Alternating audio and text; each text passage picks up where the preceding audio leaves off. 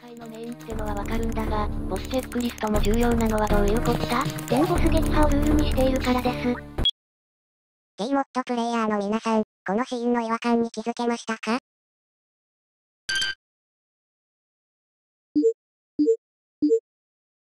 ボスログのボタンがありません。つまりボスチェックリストのモッドが今まで入ってなかったということです。ちなみに今回からは直ってます。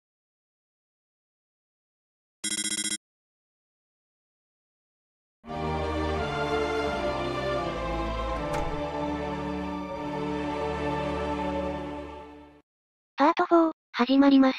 今日から録画枠が変わってるぜ。前回は念願のアームキャノンを手に入れたということで、今回はその紹介から始めたいと思います。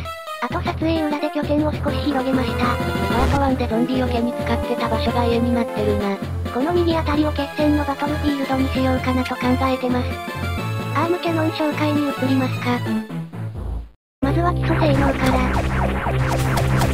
そういスライムに対して12ダメージか。序盤の敵は楽だな。あと打つたび増えてるあのゲージって。ヒートゲージです。やっぱりか。パワービームは発射中にヒートゲージが蓄積していきます。ヒートゲージマックスの間はビームが打てないので注意。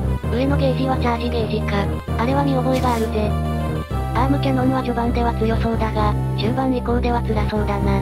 上位互換が後で出てくるのか？ありません。え？上位互換はありません。その代わりに専用のアップグレード要素が存在します。それがこれです。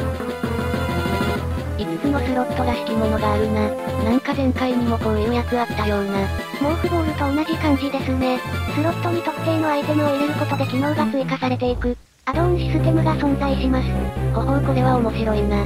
そしてそのアドオンアイテムの主な入手方法は2つ。一つは、この危険に満ちた惑星を突き進むこと。同期追加のコードには超人像が存在し、それらから新たなアドオンが得られることがあります。洞窟探索をしていく中で、手に入ることもあるってことだな。まあほとんど序盤だけの話ですがね。そしてもう一つの方法が、クラフトで作成です。正直こっちの方が安定して手に入るよな。パート1でも話しましたが、今回のシリーズでは、探索で入手できるアドオンはクラフト禁止。そういう進めていこうと思います。パワービームの紹介はこんなところかな。他の機能については新しいアドオン入手の際に紹介していこうと思います。そういえば前回までボスチェックリスト入ってなかったから、もう一度トリゾーと戦わないとダメじゃね？うわそうだった。まあこいつは何回かは戦うことにはなるだろうしいいか。すでに一度倒したボスだし、裏で米返しでもしましょうか。その前にビームの削れ具合を。まあ悪くはない方かな。これから強化されていくことを考えるとね。せやな。少しだけ米返ししていくよ。毎回見てくれて感謝です。何気ないウポツコメが心の励みとなるんだぜ。ウポツだけだと寂しいのでもっと他のコメントしていってね。俺はウポツでもかなり嬉しいと思うぜ。誰かが見てくれてるっていう事実がそこにはあるからな。では次。結構遊んでるんですねプライムや2あたりは V 漆国が少なかったので自分もあんまり遊んだことはないですね。そういやお前はどんぐらいシリーズ遊んだことあるんだ？プライム以外の作品は全部遊んだことありますね。やったことないやつ並べるとこんな感じ。えでもここにないってことはちゃんとやってたんだな。というか一番下のやつなんだよ。9ボルトのステージにあるじゃんこれが。ドラム缶倒してるだけだろ。あとドラム缶どっから湧いてきた話を戻しまして、さっき挙げた作品もいつかは触れてみたいなってことです。まああの時代のソフトはもう希少価値も高いだろうしな。次のコメント。ドバイスどうもだぜ。おっしゃる通りで、ストレージハートを作らないことにはマジストは始まらないようなものです。なので当面の目標はストレージハート作成になるでしょう。ただ一つ面倒なこともあるんですよね面倒とは？多分後で話すと思う。忘れてなければね。他二つのコメントは簡単な紹介程度で、内容が見たい人は一時停止してみてね。ここでは拾わないが、動画へのアドバイスも見てるからな。そろそろゲームに戻りますか。倒す瞬間ぐらいは残さないと。やっぱり上方向への攻撃が弱いから簡単なボスだったな。何やってんだ？ここから一方的に撃てないかなって。さっさと倒せ。最後の一発くれてやるようら。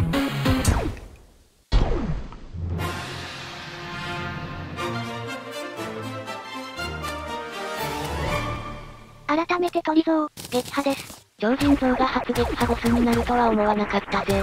他のボスもうまくいくといいけど。当たらないよそんで超ザイトで作りたいものがあったんだよね。超材と聖防具か。足部分だけは作ってあるからあと2箇所。鎧には30必要、頭は20必要だから。残り15個分のエンゴットが必要だな。もう一度超人像狩ればたまりそうなようだ。3回目にしてもう作業感出てきた。まあこれで足りるだろ。足りる。か多分足りてるとは思う。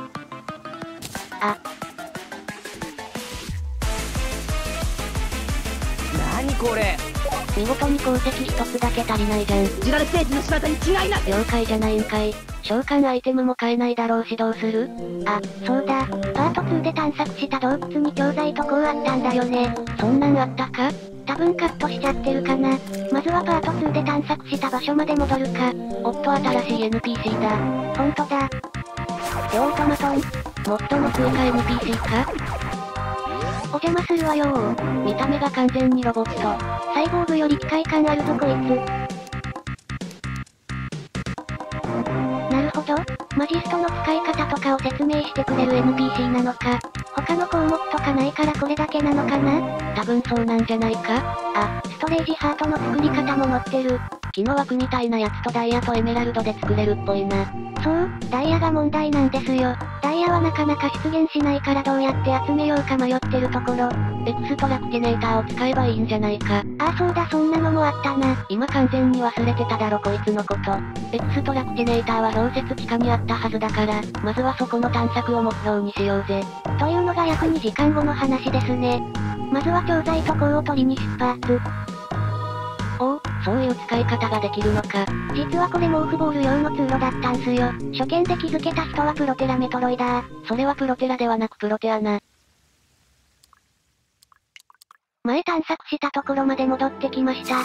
ここから右に行ったところに確か調剤とが埋まってた。レスリーガがスタックしてたとこか。そこのもうちょっと奥。そうそうこれこれ。足元の黄色と赤の混じった鉱石が調剤とですね。スターバウンドで出てきそう。最近全然やってないなあれ。今のツルハシで掘れるかな？超人像は壊せたし掘れるんじゃないか。ダメみたいですね。え？え硬さで言うとデモナイトと同じなのかな？超人像は簡単に壊せたのに、なんでこいつは同クラスのツルハシで壊せないんだよ。実は鉱石と超人像では材質が違うのかもしれない。ああもうめちゃくちゃだよまあ爆弾を使えば採取できるので問題ないですね。じゃあ戻るかせっかくだから俺はここに留まることを選ぶぜ。まあ問題はないだろう。下にアメジストが埋まってますね。他は銀以外何もなさそうだ。あ、取れてる。こっち側には何かあるかな？微妙な隙間が見えるな。毛布ボールで通れそうですね。下は大丈夫かな？落下。おっと危ない。完全にニアミスだった。あ、意外とひるむ。これだったらサイドホッパー単体なら余裕だな。この辺りには何もなさそうだな。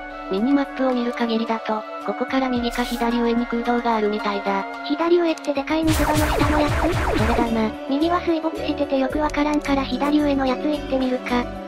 戻りように投げ縄を作って狙いはあの出っ張ってるとこ。少しずれたか。狙いが上すぎた。まあこれぐらいのズレなら問題はないか。もう一丁。ここ、あーちょっと遅すぎたか。危ねえ下にスライムをした。ここの敵で50ダメか。やっぱ最大 HP100 だと辛いな。ルビー級でまとめてバラバラにしてやる。オーケー。範囲ダメージが強いな。お、しかもコンパスドロップ。使えるかはわからんけどとりあえず取っておこう。次こそはいける。見たかこの圧倒的キャラじゃあ水場のとこ行こうか。MC? ここだな。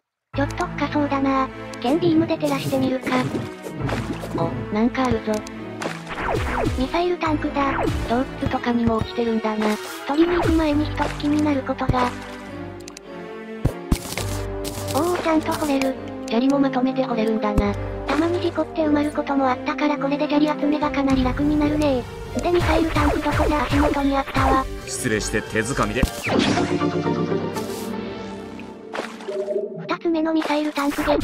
ミサイルが使える時までにできるだけ集めておきたいな。それでさっき言ってた場所ってここの下かな？ちょうどそこだな。爆弾で排水しちゃうか。水が抜けてくぞ。そのまま下に降りちゃう。痛い痛い痛い。なんだなんだ？敵はどこだ？相手はブラックスライムみたいだ。奴の攻撃が見えなかった激流に身を任せ浄化する確かに他のジェルと同化はしたが。おっとなんだこの石レンガは。初めて見る建物ですね。見た目がジャングルの宝箱のあれによく似てるが、それとはまた違う感じなのか？水が邪魔でよく見えないからなんとも。先に爆弾で水抜きしてみるか。と思ったけど爆弾がないや。下には敵もいるから穴は開けない方が良さそうだ。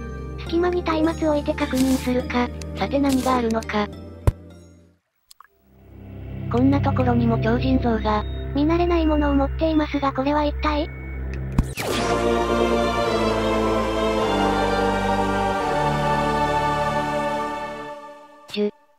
ジュジ？もしかしてジュディケーター？プライムハンターズで登場した武器だな。なるほどそりゃ見たことないわけだ。一旦呼吸できる場所に行ってから装備してみよう。さてどんな性能かな？なんだかクリスタルダークみたい。でチャージすると？攻撃範囲がなんかあいつ燃えてんだけど、なぜか壁越しに変なやつが燃えてるな。これ凍結で動けなくできるのか。でもこれ壁越しにも発動してるし発動エフェクトもないしで、バグっぽく見えるな。この戦法封印する？どうせプレイ中の投稿者はそんなこと忘れるぞ。言えてる。ひとまず超人像の部屋は水抜きしておくか。下にスペースあるか？あんまなさそう。一旦水止め。下なんかある？まあなんもないか。とおっと妖精が何か見つけたみたいだ。刺してる方角的にまだ探索してない場所にあるな。じゃあついて行ってみるか。超人像破壊はお忘れなく。環境破壊は気持ちいいぞいテラリアでは日常茶飯事なんだよな。掘り進めてる最中は倍速で、にしても最初のビームアドオンがジュディケーターだとは、無難にチャージビームあたりが手に入ると思ってた。まずこのモッドがハンターズの武器まで網羅してることが驚きだぜ。前のバージョンにはなかったから比較的最近実装されたものなのかなお、向こうでライフクリスタルが光ってるぞ。付近に木の建物も見えるから。宝箱もありますね。思ったより掘るのが長いので加速。今ミサイルタンクも見えたぞ。これはまさに一石三鳥。全部もらっていっちゃいましょう。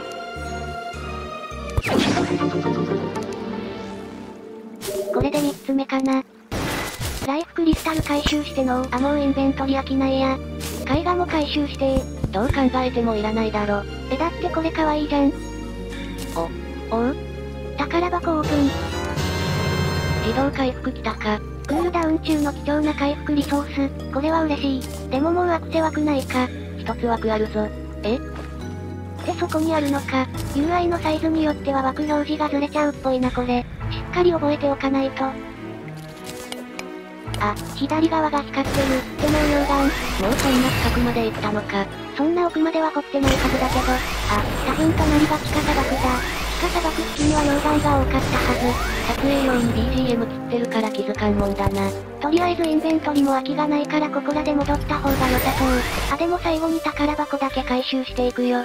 拠点のアイテムボックスとして使えそうだ。でまた妖精だ。あれこれまた前と同じパターンか？もう宝箱は破壊したからたげらないと思うけど。お前何なんだよここの椅子を撤去して、ここに二つ目の宝箱をセット。これでアイテムがよりしまえそうだ。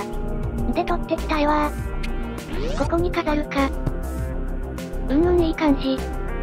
そして本命はこれ。集めた調剤とを使って防具を作成。調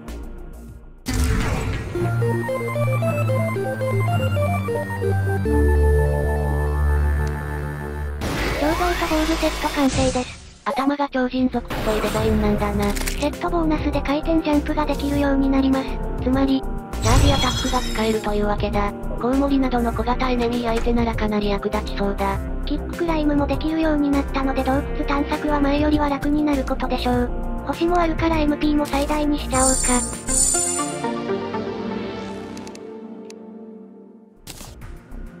そんで調剤とがまだ結構あるんで、これで調剤とのツルハシを作りました。性能的には金やプラチナのツルハシと同じで、黒曜石やメテオライト、デモナイトが掘れるぐらいだな。これで氷雪地帯への準備は抜群でしょう。ついでにジュディケーターでどれぐらいパワーアップしたかもチェック。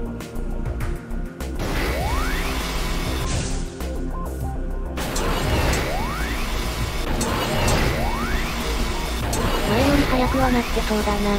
フロストバーンのドットもあるので序盤の敵に対する削り能力が高そう。戦闘中だけど今回はここまで。次回は地下氷雪地帯の探索になるだろうな。今回だいぶ投稿が遅れてしまったので、次回までにはペースを戻したいところ。まあここんとこイベント続きだったから今回は見逃してやろう。助かる。ご視聴、ありがとうございました。